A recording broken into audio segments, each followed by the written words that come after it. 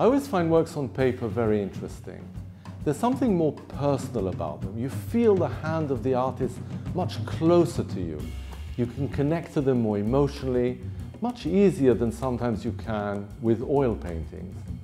So I'm very excited to announce our forthcoming exhibition, Art on Paper 1920 to 2020 that include a wide range of works starting from late post-impressionist works by Signac through modern artists such as Chagall, Picasso, Matisse, Dufy, and then contemporary works by Kusama, Calder, Sam Francis, Anish Kapoor, and there'll be many other artists in the exhibition.